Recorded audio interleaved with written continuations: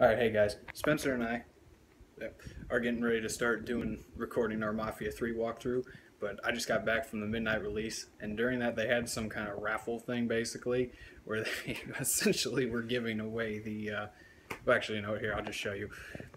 Basically, I won the raffle and got the fucking display sign.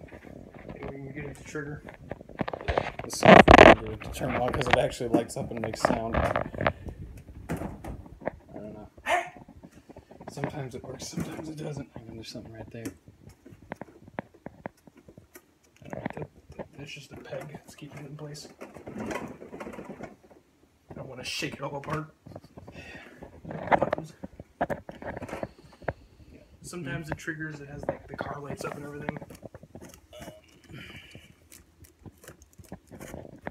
I don't know. But basically, there's like red lights that go up behind the shotgun here, and then the headlights light up, and it makes a a, a vroom vroom sound.